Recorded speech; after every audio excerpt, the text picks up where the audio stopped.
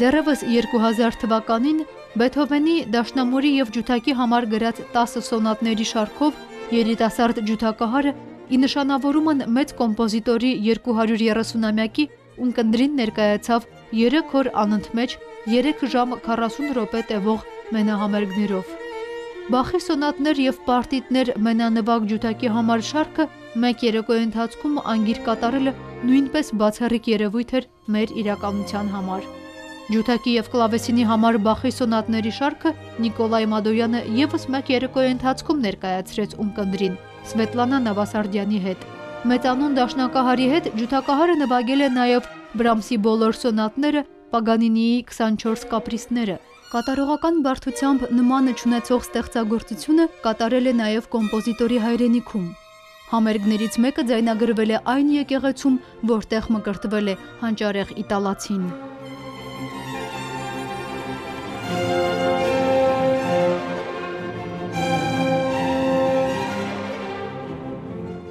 Մոցարտի 250-ամյակին նվիրված տոնակատարությունների նախաշեմին մեր օպերային թատրոնի սիմֆոնիկ նվագախմբի հետ Մադոյանը ձայնագրել է Մոցարտի ջութակի բոլոր կոնցերտները։ Իսկ մայիսի 28-ին հայ երաժշտասերը հնարավորություն ունեցավ ունկնդրելու Մոցարտի բոլոր կոնցերտները ջութակի եւ նվագախմբի համար կենթանի կատարմամբ։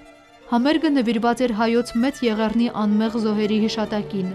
Դիրիժորը օպերայի եւ բալետի թատրոնի երաժշտական ղեկավար եւ գլխավոր դիրիժոր Կարեն Դուրգարյանն էր։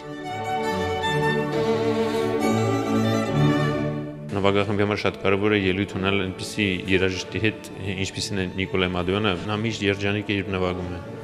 Կարծում եմ դա իրեն կյանքն է եւ բոլոր փորձերը անշուշտ նվագախմբի հետ այդքան ժամանակ անցկացնել եւ անցնել այս փուլը իրեն համար մեծ հաճույք է կարծում եմ եւ ամեն մի անգամ կրկնելով ստեղծագործությունը, բայց կանգնելով աշխատանքային այդ process-ում մենք տեսնում ենք նրա երջանիկ աչքերը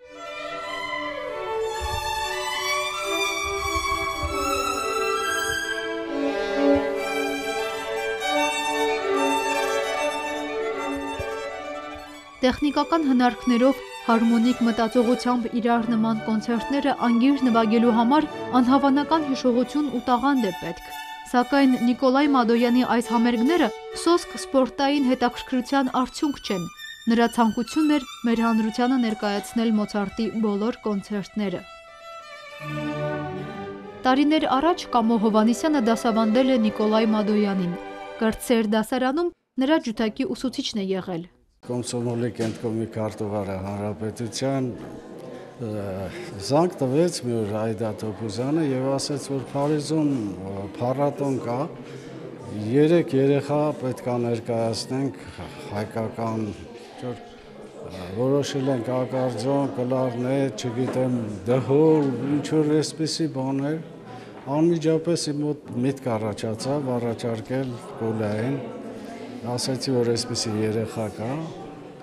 ասեն կարող ենք լսել ասի իհարկե կարող եք լսել եկան լսեցին եւ բոլորը իմ հետ համաձայնվեցին որ Կոլան պետքա գնա Փարիզ Փարիզի Աստվածամոր տաճարում մի հատ կռունկ էր նվագել, հենց այդտեղից սկսվել էր նրա ամբողջ այդ փառատոնի մասնակիցների եւ ղեկավարության ուշադրության կենտրոնում էր եղել։ արդեն 10 տարեկանում Մոցարտ երրորդ կոնցերտ էր նվագում։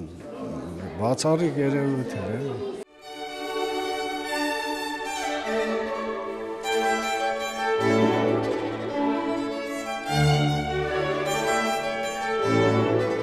Հայաստանի վաստակավոր արտիստ Նիկոլայ Մադոյանը Երևանի Պետական կոնսերվատորիայի պատվավոր պրոֆեսոր է եւ արտիստական գործունեությանը զուգահեռ զբաղվում է նաեւ ոչ պակաս կարևոր մանկավարժական գործունեությամբ։ Նրանից դասեր են առնում երիտասարդ ջութակահարները,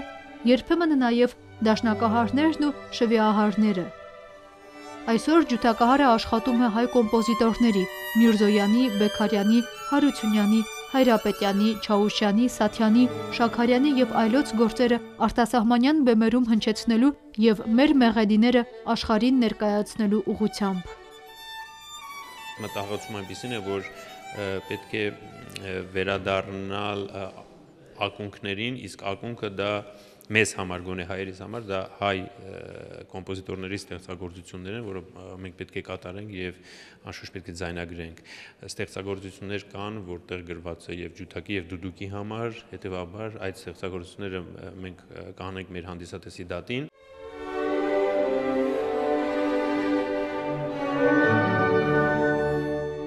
Նիկոլայ Մադոյանի առաջիկա համերգը հայրենիքում հայ հեղինակի ստեղծագործության պրեմիերա կլինի ջութակի, դուդուկի եւ նվագախմբի համար։ Ալեքսանդր Սպենդիարյանի անվան օպերայի եւ բալետի թատրոնի սիմֆոնիկ նվագախմբի եւ Նիկոլայ Մադոյանի հետ կհամագործակցի անվանի դուդուկահար Գևորգ Դաբաղյանը։